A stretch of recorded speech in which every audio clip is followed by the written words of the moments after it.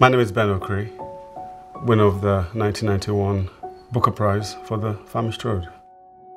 I'm a poet, novelist, essayist, activist, playwright, humorist, and thinker. The Booker Prize for 1991 goes to Ben Okri for The Famished Road. When Ben Okri won the Booker in 1991, he was the youngest ever winner, just 32, and also the first black author to win the prize. I dedicate this prize to all those who struggle and who suffer in silence and in public and who never stop fighting and always keep on dreaming. Thank you very much.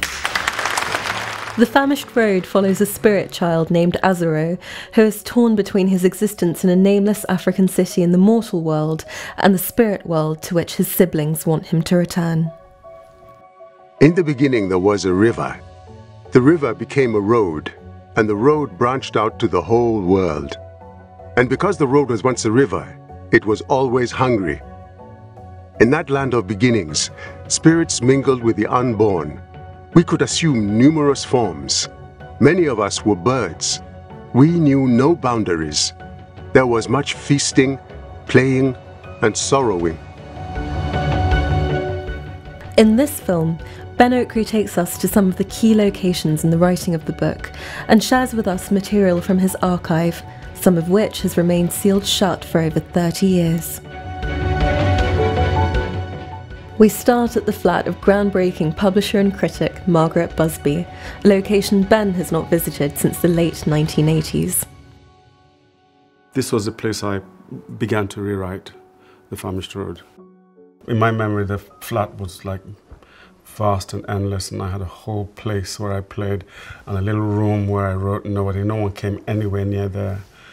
My whole time was spent in that room looking over out across the street to the houses, and I remember the silence. So it feels both wonderful and strange, and uh, a little fearful. Why fearful? Um, because I'm about to go back to a very intense period of my writing life, maybe one of the most intense periods of my writing life. In fact, it was it was it was a make or break time. It was you either do this or you die. It was really that serious. It was really, really that um, existential. It really was. How did you end up in Margaret's flat? You can't not know about Margaret. She was, she was beautiful and friendly. Everybody loved her. Everybody knew her. And, you know, knew her, met her at parties. And I said, Margaret, look, I, I've been thrown out of my flat. I need somewhere to write. She says, oh, I've got a flat. Where? Notting Hill Gate. Great, Notting Hill Gate. So I had a little room. Um, I didn't sleep in there, I just wrote in there. It still is a, a dream I want to get back to. A table facing a window. Um, I remember finding the window distracting. But here, you're right, you look up, you see a window, beautiful scene outside, someone's out there, you know, guy's looking at you, someone's, you know, you're like, you could just get distracted and lost. You're like, whoa, what's going on out there? you know, 30 minutes can go past. So I'm not a big fan of windows. I now position my, de my desk so it's facing the wall. So that the only window there is, is here. And the thing is about the daytime, you, you sit down to work. Um, you don't have to be aware of it. But at the same time, half a million people around the, around the city are sitting down to work, right? There's something a bit exhausted about that air. Everyone's tapping from it. It's true. Um, but you start to write at 3 o'clock in the morning or, or 1 o'clock in the morning or 2 in the morning. And it's like there's an incredible availability of imagination, of energy, of inspiration, of wildness, of freedom. I don't know how else to explain that except to say more people are asleep.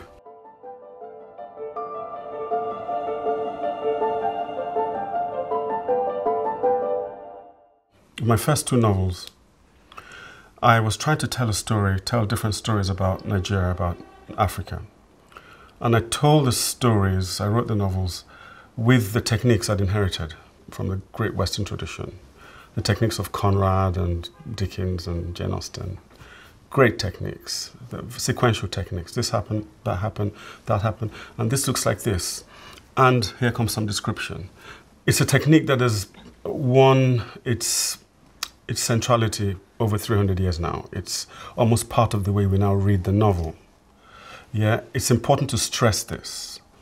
So when I came to write these two novels about, about Nigeria and about, about my experiences there, I realized slowly that actually there was a great disjoin, there was a great gap between the life I was writing about and the technique I was using to write about it. They just didn't fit. When I read it, it was too sequential, but the life I lived and the life I remembered was much more simultaneous. Things flowed into one another, and time was different. Time speeds, time slows down, time is. Um,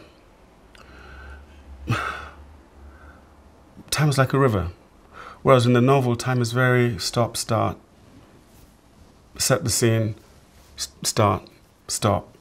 Um, it needed a new technique. I didn't know how to get this technique because I realized I couldn't tell that story, the story that I've been carrying inside me to tell, which is the story of a spirit child. I couldn't tell that story with this technique.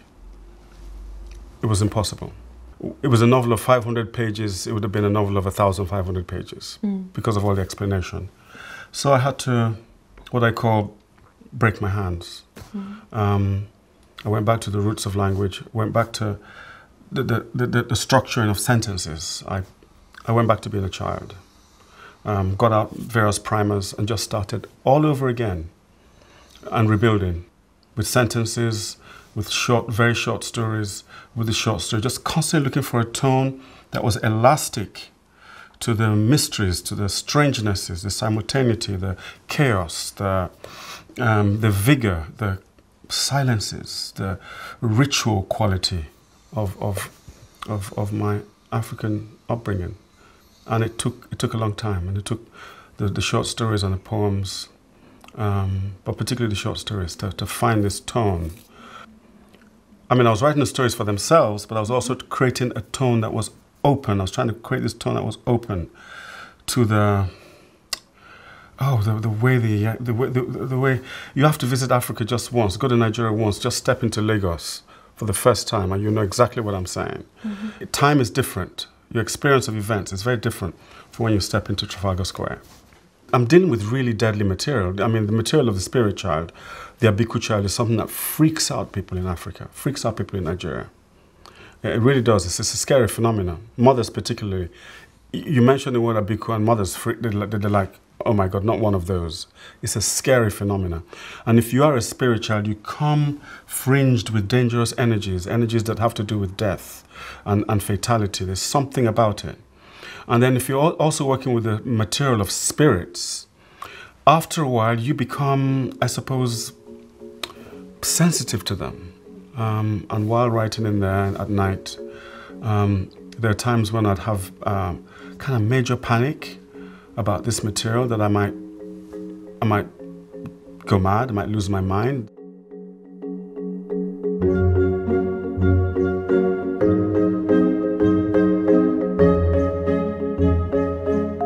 Ben, if you could tell us where we are. We're at the round pond at uh, Kensington Gardens, and it's um, five, seven minutes from um, Margaret's place. And I walk up Notting Hill Gate through the park and I'd come here sometimes very early in the morning and just sit. Sometimes I'd walk around slowly, to calm my head down, calm my spirit down after a night of wrestling with words and spirits. I have a great affinity for water. Water is a kind of stabilizing force, a dreaming force, a calming presence. One of the vows I took quite early on was to live near water in one form or another. So this was my local living near water. You won the Booker Prize in 1991 for The Famished Road, and you were the first black man to win it. And I wonder if that meant anything at all in your mind. No, if I'm honest. I really didn't get the fuss about that because it seemed to it seemed to be anchored in a, some kind of amazement that a, a black person can write well. I took that for granted. Most of the best writers, you know, in the world, when I, the period I've been growing up, were, were black writers.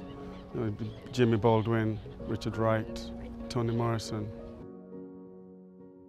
But the really big thing was the incredible magnification that the Booker Prize uh, is able to bring to a book and to a career. Before you won the Booker, were you satisfied with critical and press response to The Famished Road? No, and I didn't, I didn't expect it to be. It's not, it's not the kind of book you can be in tune with that quickly. I thought maybe it would take about 20, 30 years. Reviews were divided. Some people were like, what's, he, what's wrong with him? Um, and there were some extraordinary reviews. Linda Grant's about reading The Famished Road and going out, walking out into the street, walking out and seeing angels in the trees after reading it. I think there were about two or three reviews like that. They did something amazing. And they started a lot of curiosity. Um, when people got it, they really got it. And when they didn't get it, they really didn't get it.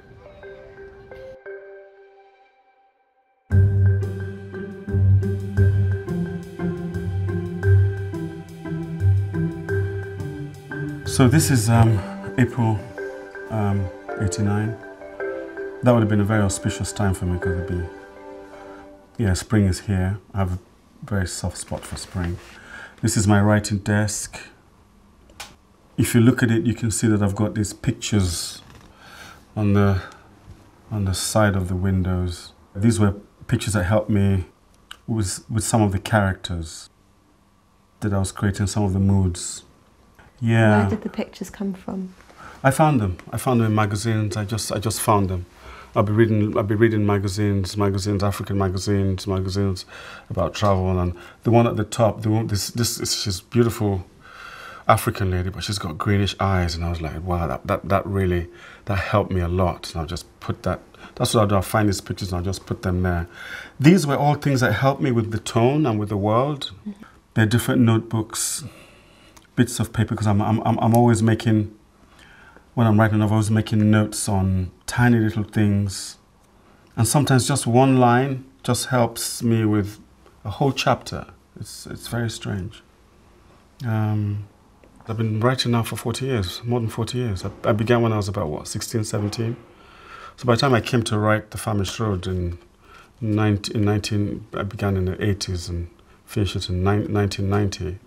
I mean, I must have been, I was already writing them for more than 15 years. I was, I was already a veteran by the time I came to write this. And I've been doing it, I've, been, I've written every single form. I've written plays, novels, poems, essays, jokes. I've, I've written everything. So it's all, you just, I suppose you just build, after doing it for so long, you just have a whole world inside you of the films you need, the paintings I need, the music I need is all inside there. No, see, I'm really jealous of that because I do everything in my head and I've always wanted to create a physical, tangible Oh, that's not difficult. You can do that. The, the hardest bit is to have it all in your head. I'd much rather have it in my head. That way, that way no one can come along and knock on the door and says, look, you know, you, got, you can't go back in there. So you, and you can't, if you can't go back in there, you can't write. Now no one can do that to me because I, it's, it's here. This photograph here was a real surprise to come upon. Because this is a this is a launch party of the Famished Road. It was published in March, and um, my publisher, Jonathan Cape, kindly had a little party for me. And among the guests, I can see um, Salman Rushdie wearing kind of almost Bee Gees glasses, yeah. with um, Marianne Wiggins, his wife at the time. If you look at me in this picture, I mean, I look like I look like you know this this very dapper guy, sort of without a care in the world, easygoing, loves a good drink. No, I didn't reveal any of it. Nobody knew anything.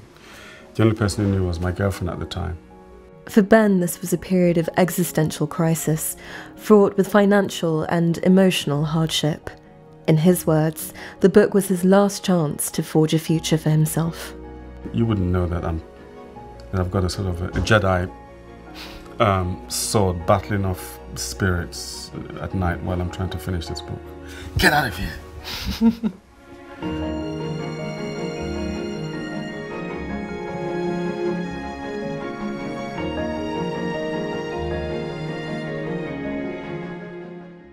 I sent a copy to mum, and the first thing she did, very African, was put it on the mantelpiece. we have a way of turning things into emblems, symbols, mm. energies, ritual portals. What? How does that feel to you? I, I think I think a lot of the philosophy of the book I got from my father, and a lot of the energy of the of the looking for this tone I got from my mother because my mother has a way of telling stories. I've gone on about this. Yeah. She has a she has a she has a way of telling stories to me that was designed to get my attention um, because I was a very stubborn kid. And uh, there, were, there, were, there were a couple of things she did. She her stories were always enigmatic. She entered the story at the most odd point. Did you know that um, when Tortoise was falling down from, and I'm like, should can we go back to what happened before Tortoise was falling down from? No, she comes in like that, and then she never finishes, and her, her, angles are always very enigmatic. Um, that was a big influence on, on, on me. Um,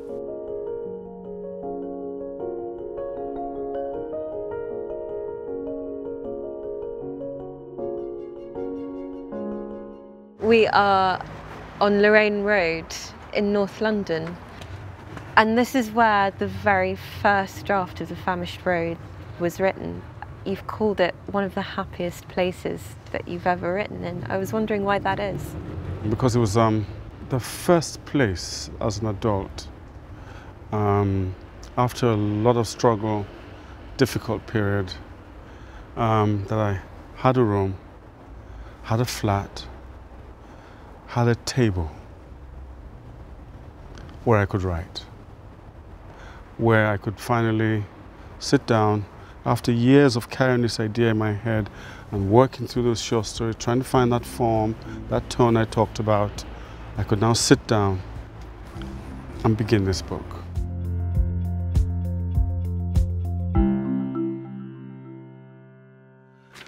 Well, um, as soon as the book was finished and typed and sent to the publishers and done, it became clear um, that I had to protect my manuscript, especially the manuscript for this book.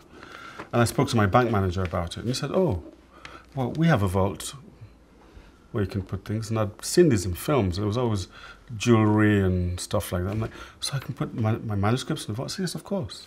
So I, I said, what should I do? And he said, well, you have to put it in a, an envelope, seal it, and in the presence of a witness, you have to sign all the corners as proof that it has not been broken or tampered with in any way. Then I took the whole bunch of the notebooks along with some other manuscripts. and Put them in a put them in a box, a steel box with your name on it. And it's been there, sitting there all these years. How are you feeling about opening it? Are you feeling calm? Um, I've been bit worried about this moment for a long time, but I'm also extremely curious because I haven't, I haven't seen the, the um, original, the very first draft of this book in, in this solid form for more than 20 years. So I, do, I don't know what's in here, to be honest with you. And we're going to see if we can. Wow, this is weird.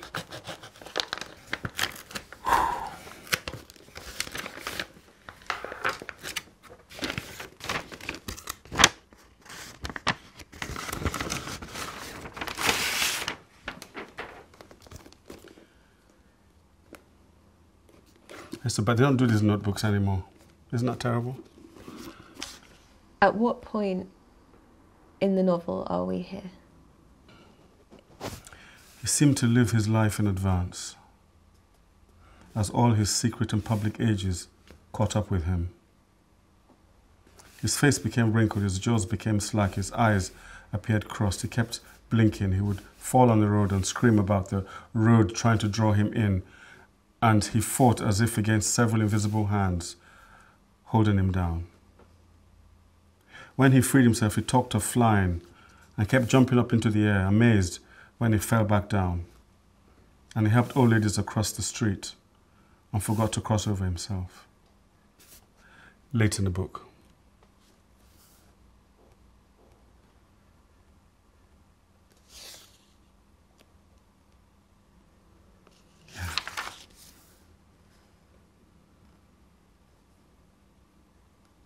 I'm quite surprised. Your writing at this point looks really fluid. I mean, I can see some crossing out from here, but it really Yeah. does look like you were just Yeah. going. Now, what you can see is that's the advantage of writing in a notebook like this, where you write on one side, um, and my notes will be on this side. One thing I wanted to just show you, which is so interesting, I tend to have two kinds of handwriting. Uh, what I want to do is when I'm going through certain kind of difficult passages, I slope.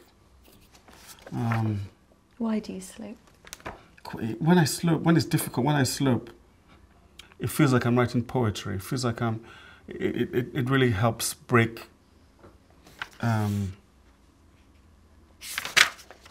How many of these notebooks were there total? These are just Oh. two towards the end. um, it's about this high. I must have about 10, 20 of these. Now that you've seen them, how do you feel?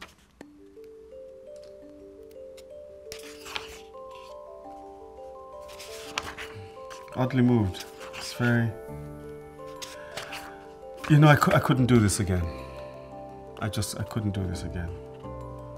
I had to be a I had to be a writer in my late twenties.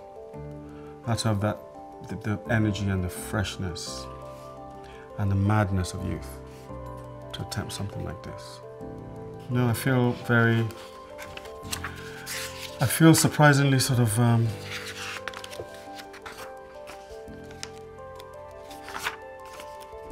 Yeah, I feel a big feeling for the young man who was, who he really was writing to save his life.